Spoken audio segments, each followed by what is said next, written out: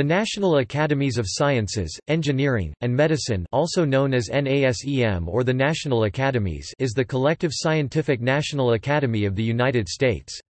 The name is used interchangeably in two senses, one as an umbrella term for its three quasi-independent honorific member organizations the National Academy of Sciences NAS, the National Academy of Engineering and the National Academy of Medicine and two as the brand for studies and reports issued by the operating arm of the three academies, the National Research Council NRC. The NRC was first formed in 1916 as an activity of the NAS. Now jointly governed by all three academies, it produces some 200 publications annually which are published by the National Academies Press.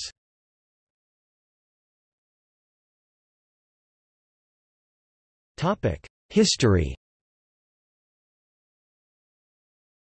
The U.S. National Academy of Sciences was created by an Act of Incorporation dated March 3, 1863, which was signed by then President of the United States Abraham Lincoln The Act stated that the Academy shall, whenever called upon by any department of the government, investigate, examine, experiment, and report upon any subject of science or art." With the American Civil War raging, the new Academy was presented with few problems to solve, but it did address matters of coinage, weights and measures, iron ship hulls, and the purity of whiskey. All subsequently affiliated organizations have been created under this same overall congressional charter, including the two younger academies, National Academy of Engineering created in 1964 and NAM created as the Institute of Medicine in 1970 and rechartered as NAM in 2015. Under this same charter, the National Research Council was created in 1916. On June 19 of that year, then U.S. President Woodrow Wilson requested that the National Academy of Sciences organize a National Research Council. The purpose of the council at first called the National Research Foundation was in part to foster and encourage the increased use of scientific research in the development of American industries, the employment of scientific methods in strengthening the national defense, and such other applications of science as will promote the national security and welfare. At the time, the Academy's effort to support national defense readiness, the Committee on Nitric Acid Supply, was approved by Secretary of War Newton D. Baker. Nitric acid was the substance basic in the making of propellants such as cordite, high explosives, dyes, fertilizers, and other products but availability was limited due to World War I. The NRC, through its committee, recommended importing Chilean saltpeter and the construction of four new ordnance plants. These recommendations were accepted by the War Department in June 1917, although the plants were not completed prior to the end of the war. In 1918, Wilson formalized the NRC's existence under Executive Order 2859. Wilson's order declared the function of the NRC to be in general to stimulate research in the mathematical physical, and biological sciences, and in the application of these sciences to engineering, agriculture, medicine, and other useful arts, with the object of increasing knowledge, of strengthening the national defense, and of contributing in other ways to the public welfare. During World War I, the United States was at war. The NRC operated as the Department of Science and Research of the Council of National Defense as well as the Science and Research Division of the United States Army Signal Corps.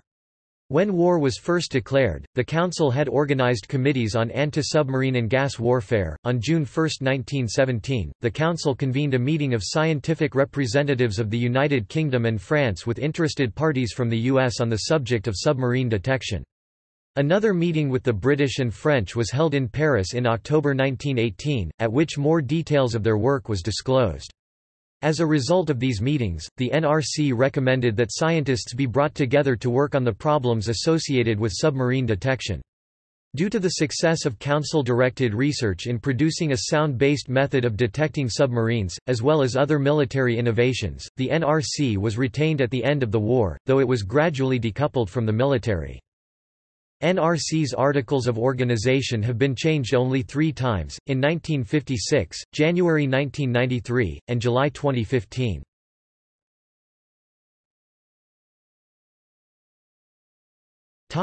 Honorific societies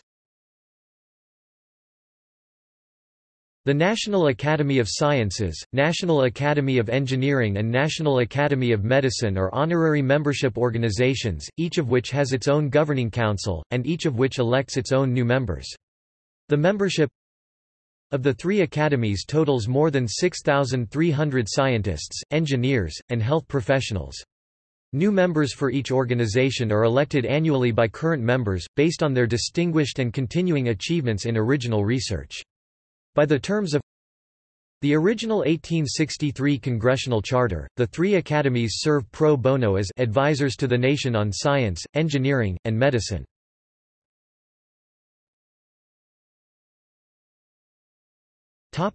Program units The program units, formerly known as the National Research Council, are collectively the operating arm of the three academies for the purpose of providing objective policy advice.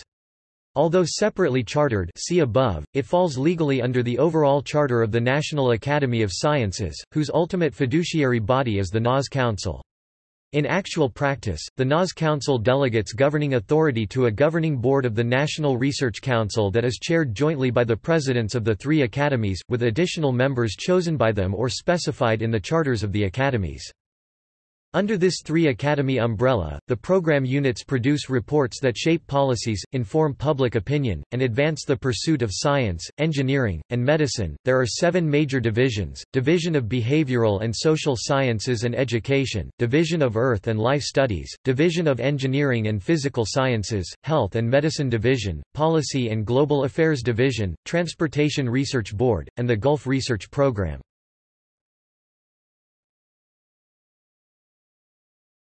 The study process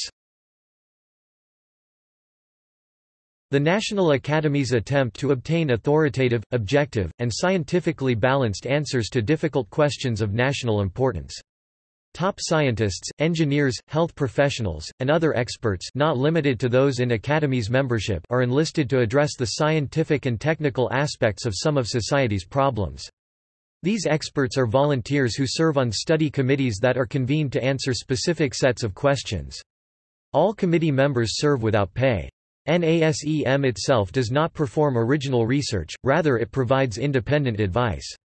Federal agencies are the primary financial sponsors of the Academy's work, additional studies are funded by state agencies, foundations, other private sponsors, and the National Academy's endowment. The external sponsors have no control over the conduct or results of a study, once the statement of task and budget are finalized. Study committees gather information from many sources in public meetings but deliberate in private in order to avoid political, special interest, and sponsor influence.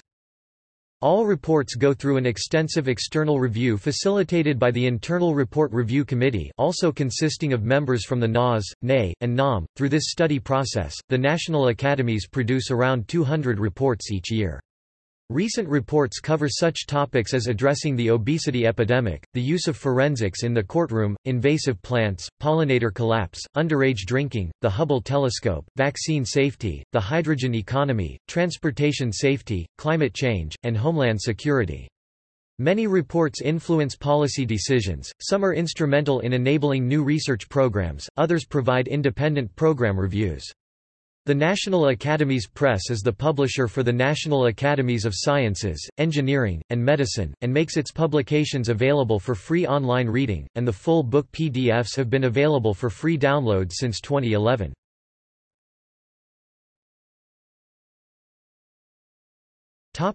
Notable reports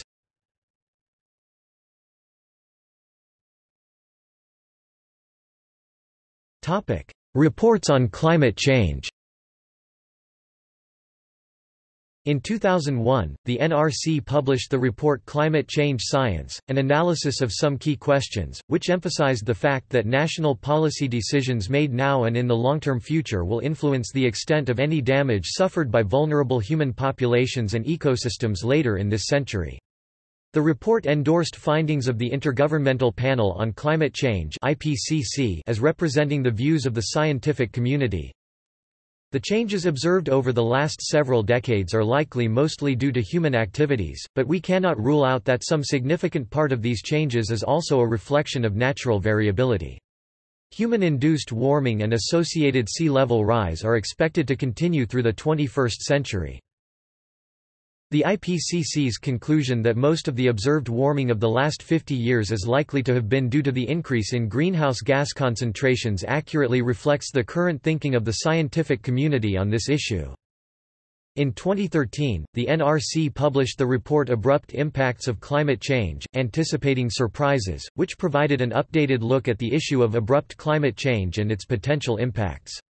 This study differed from previous treatments of abrupt changes by focusing on abrupt climate changes and also abrupt climate impacts that have the potential to severely affect the physical climate system, natural systems, or human systems, often affecting multiple interconnected areas of concern.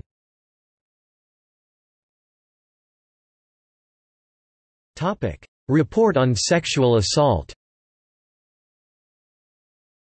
In 2013, the NRC published the report estimating the incidence of rape and sexual assault, which pointed out that approximately 80% of sexual assaults go unreported to law enforcement. The report recommends that the National Crime Victimization Survey adopt new approaches to interviews of rape victims, including changing the wording of questions. In an article about the report, Amber Stevenson, clinical supervisor and therapist at the Nashville Sexual Assault Center, said that victim blaming was the main issue preventing victims from coming forward, as long as we as a community continue to make victim-blaming statements, such as, "'She put herself in this situation. She didn't fight back, she must have wanted it." We will continue to see rapes go unreported. We have to stop blaming the victim.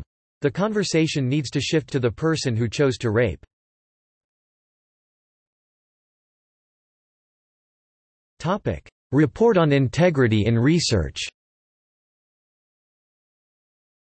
The 1992 report, Responsible Science, Ensuring the Integrity of the Research Process was updated in 2017 by the report, Fostering Integrity in Research, as experience has accumulated with various forms of research misconduct, detrimental research practices, and other forms of misconduct, as subsequent empirical research has revealed more about the nature of scientific misconduct, and because technological and social changes have altered the environment in which science is conducted, it is clear that the framework established more than two decades ago needs to be updated.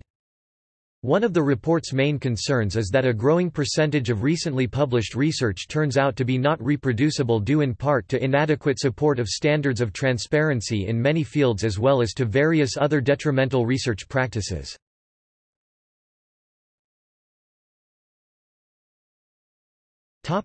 Other programs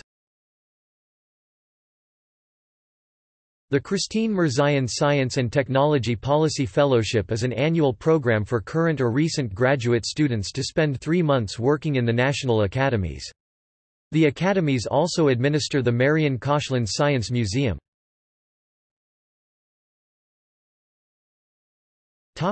See also